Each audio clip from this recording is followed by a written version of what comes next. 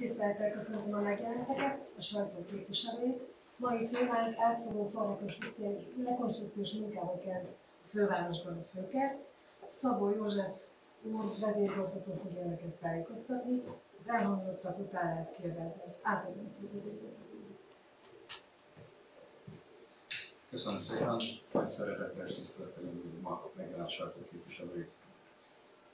A mai sajtótájékoztatónk engedjék meg egy picit rendhagyó legyen, és egy picit szakmázat is az elején, csak az, hogy megérthető legyen az a, a bejelentés, amit szeretnénk önökkel most közölni. A Főkert Nonprofit ZRT több mint 150 éve a főváros szolgálatában a kiemelt zöldfelteknek a kezelését végzi.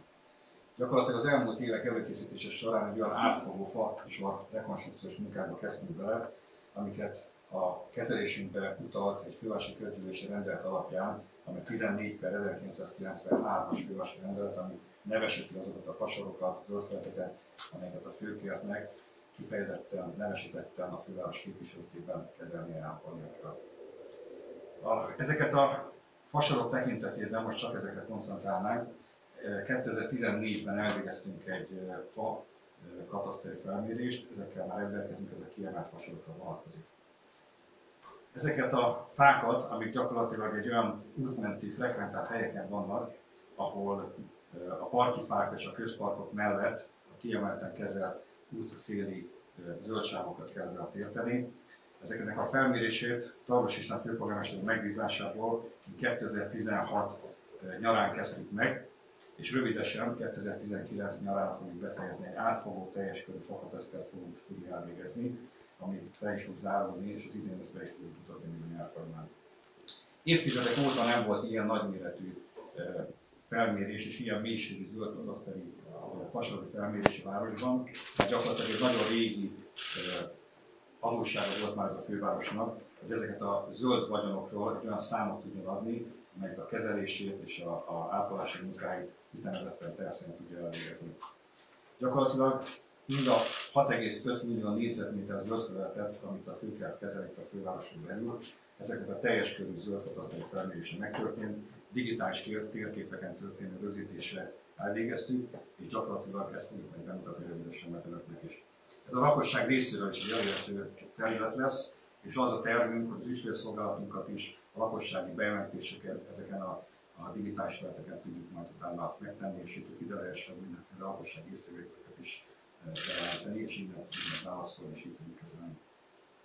A zöld vagyon leltárnak a, a felmérése sokkal nehezebb és összetettebb, mint bármi más vagyonnak a, a felmérése. Például ingatlannál jóval egyszerűbb az föl, fölmérésre kerül, és utána illetőleg néhány éven keresztül nagyon nagy államváltozás nem következik be. Ugye élő szervezet esetében, amely mindig érzékenyen reagál a környezeti tényezők befolyásoló hatására, egész más viszonyokat, egy egész más rugalmassággal kell ezeket a felméréseket. A fakataszter állapot meghatározásai nem, is, nem minősülnek falvizsgálatoknak. Azonban ezek a rögzített állapotjelzések jó alapot adhatnak a későbbi falvizsgálatok tervezéséhez, az esetleges baleset veszélyességi kockázatokat magában foglaló faállományok kiemeléséhez, ezeknek a kezeléséhez, mivel ezeknek a falvizsgálatoknak helyük van a kataszterek belül is. Ez a teljes körű fakateszter gyakorlatilag alapjául szolgál a faállomány fenntartási technológiai tervezésünkhöz, a tudatos és tervszerű faápolási munkák nyomon követéséhez, melynek jelentős és kiemelt szerepe lehet a fák által okozott káresetek hatósági eljárásra is.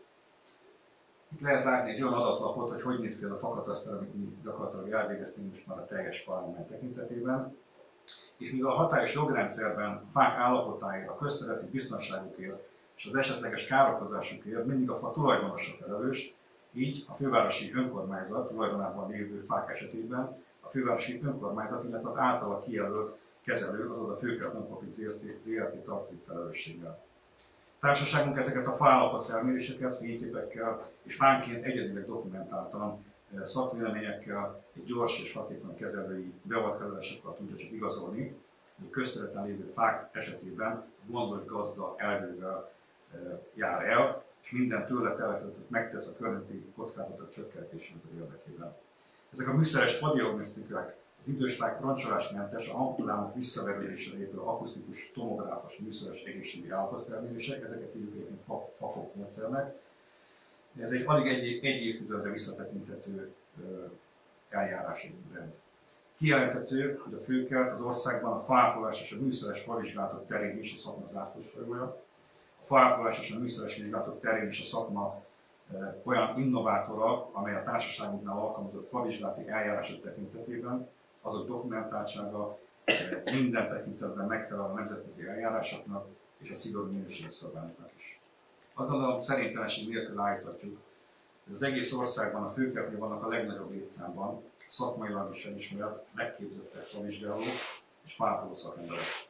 Sok energiát fordítottunk a kollégáink folyamatos képzésére, a legmodernebb favizsgálati eszközök beszerzésére, ezek fejlesztésére, mivel ezek a favizsgálatok csak szakképzett vizsgával rendelkező szakértő személyzet végezheti el. Ezek a favizsgálatok többszintű eljárási rendszere, mert természetesen rendszeresen és folyamatosan kell végezni a kijelölt kezelőnek.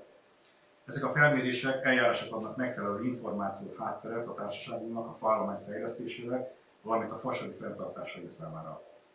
Ezt úgy kell érteni, hogy van egy vizuális favizsgálat, amely egy összetett felmérés egyébként, ez egy pontrendszer alapján, ezt hívjuk a szakmában radó módszernek, ami gyakorlatilag a környezet hatások alapján a gyökérzet állapotának a vizsgálatából áll, a gyökérnek vizsgálatából, törzs állapotából, különböző korlátások, a statikai állapotból, tápanyagállomási a vizsgálatát, koronállapotát vizsgáljuk meg ilyenkor, ez a valós és a ideális lombtömegnek az állapotát tudjuk összehasonlítani, illetve a faegészségi állapotát, életképességét, amely a Magyar Faápolók Egyesületének a kidolgozott metódus alapján értékszám 0 és 5 között, illetve a megtarthatósági mutató, amely viszonyszám 0 és 100% között.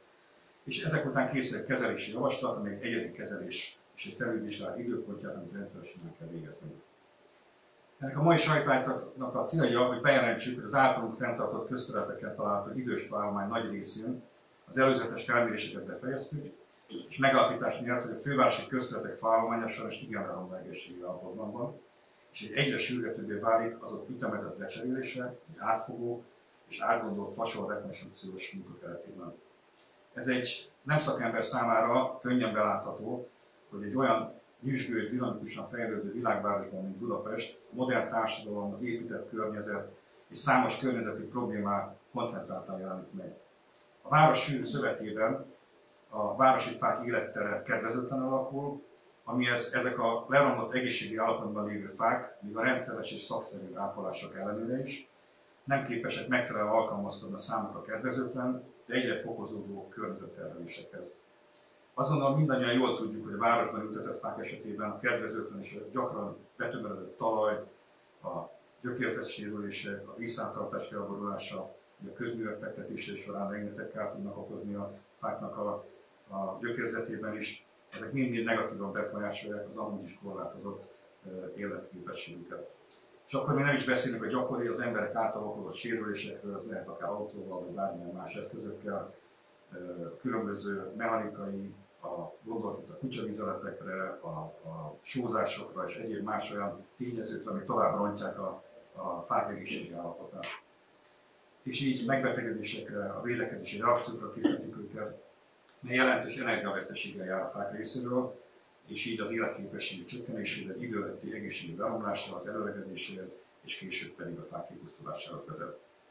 Városi fák állapot leromlása az életképesség gyorsan csökkenése mellett gyakran a fa szerkezetének gyengülését, különböző mértékű stabilitás csökkenését is eredményezi, így negatívan befolyásolja a fák tűrési biztonságát, állékonyságát, amely kiemelt személy, személy és gépjármű forgalommal érintett városi közterületeken komoly biztonsági kockázatot jelentenek. Ezen faegyetek esetében a környezetbiztonsági kockázatot is mérlegelni kell a fápolásért felelős szakembereknek, akik jogilag is felelősek, és az ökológiai hasznosság mellett ezeket a szempontrendszereket is értékelni kell. Természetesen a szakembereink folyamatosan és mindenben törekszenek arra, hogy a, ezeket a fajegyedeket minél hosszabb időn keresztül életben tudjuk tartani, ezeket ápoljuk, kifejezetten idős ápoló programunkban, és igyekszünk a hosszú távú, de biztonságos fenntartásukra, amíg megmenthető értékes egyedek szakszerű kezelésére. Ez egy felelősen gondolkodó kertészeti szakcím, mert nem csak joga, hanem kötelessége is, de egyben felelőssége is és hiszem, hogy a fajvizsgálatok kiértékelését követően a fápoló szakembereink, fadoktoraink gyakorlatilag egy orvosi konziliumot tartanak, dönteniük kell, kockázatokat kell elemezni, és ha kell, akkor azonnal cselekedniük kell. A faj is egy élőlény, ugyanúgy kell cselekedni, mint ha egy ember életről lenne szó. Legalábbis nekünk ennyire fontosak a fák. Az elmúlt hetekben lezárult közterületi fasori fállomány felmérésének alapján kijelentetjük, hogy a város több pontján olyan, a, ezek a koros fák olyan leromlott állapotban vannak, amely egyre sürgetőbbé válik azon ütemezett cseréje, szükségszerű fasorozatkonceptra van szükség, és ezeknek az előkészületét, ezeknek a tudatos tervezését megkezdtük. A szakmai és esztétikai szempontból általában az idős legyengült egészségügyi állapotban lévő fasorok komplex és egységes arcotot biztosító rekonstrukció lenni indokolt. Azonban ez igen komoly forrást igényelne, ezért azt gondolom, hogy azokat az eseteket kell megvizsgálnunk, ahol ezeket a rekonstrukciókat szükségszerűen el kell végezni.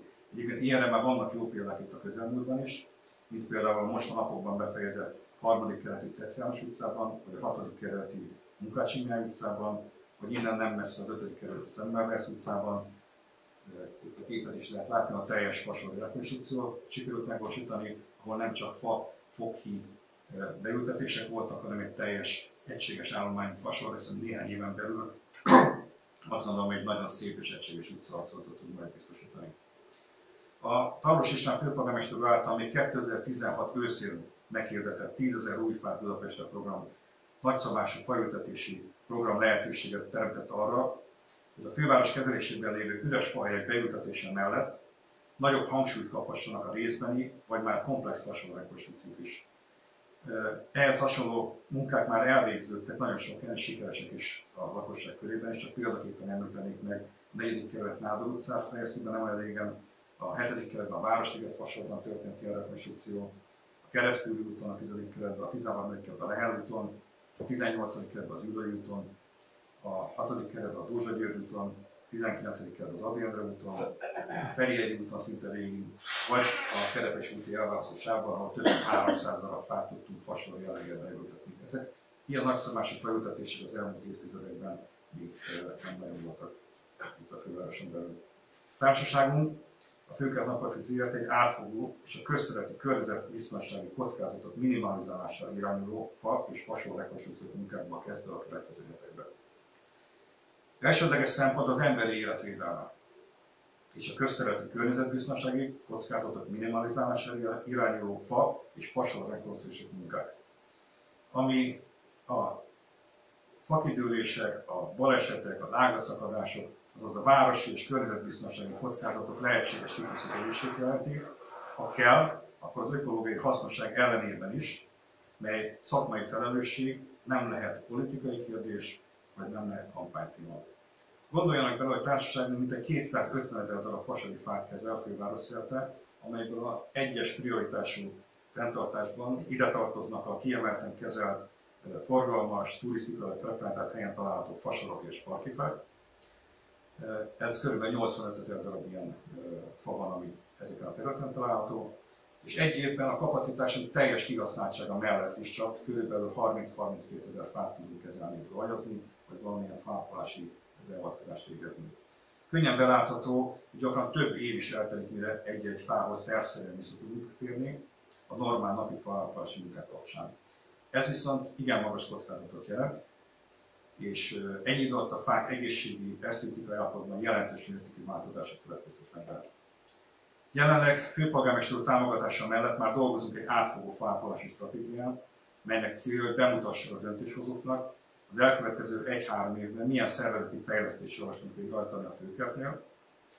Ez a szervezeti fejlesztés lehetővé teszi majd a tervezhető faápolási gyakoriságának növekedését, ezáltal a Budapest faállományának már a középtávon is érezhető minőségi javítását.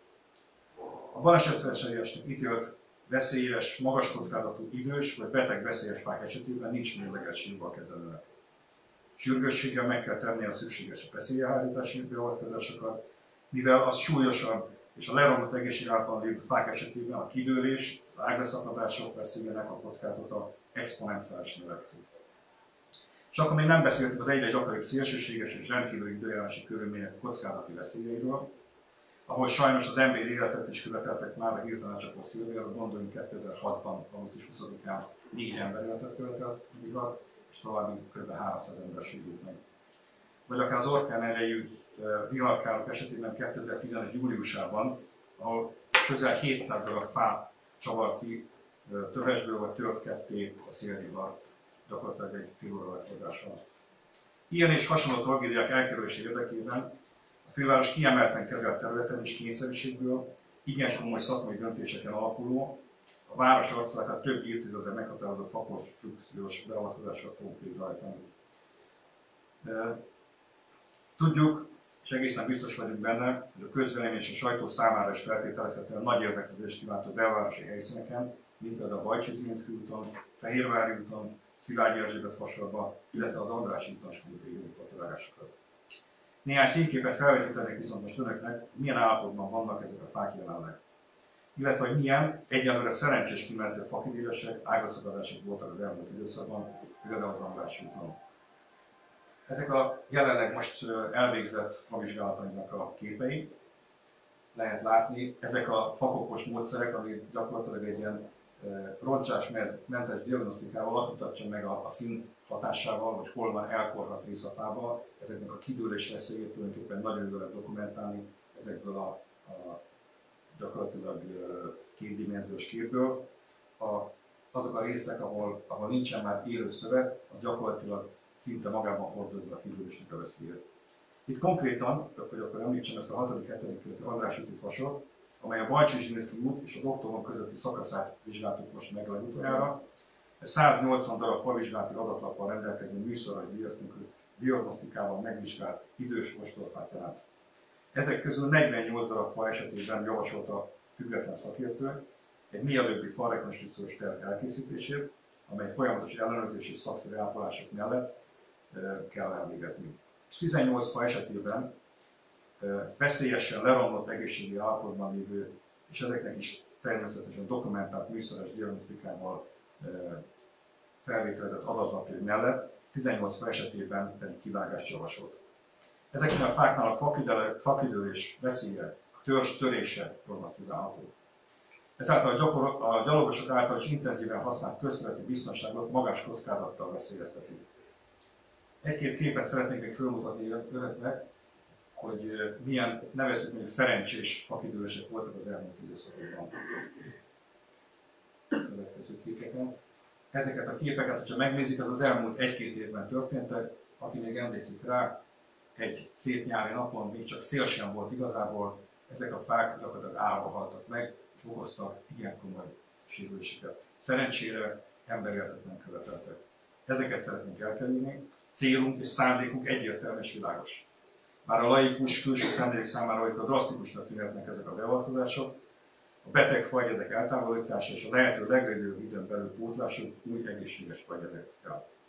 Bízom benne, hogy az elhangzottak alapján a normál sajtótájékoztatóknál kicsit részletesebb és szakmai tájékoztatásunk, bejelentésünk ismeretében segítő, támogató partnereket találunk önökben, mint a közvéleményt objektívan tájékoztató, szakmai alapokra épülő felvilágosító és a lakossági szemléletformáló média képviselőiben, melyhez társaságunkhoz szakmai kérdések esetén továbbra is bármikor fordulhatnak, készséggel állunk az önök megtisztelő megkeresésére, de akár egy helyszíni sajtóbejárás megszervezésére is készséggel állunk. Szeretnénk ezeket az adatlapokat föltenni a honlapunkra, szeretnénk ezeket nyilvánossá tenni, szeretnénk a lakosságot is tájékoztatni, mint ahogy eddig is megtettük a munkánk kapcsán és legtöbbször az ilyen fakonstrukciós munkáknál előzetes lakossági fórumokat, civilekkel, szülőszervezetekkel történő egyeztetéseket is elvégeztünk.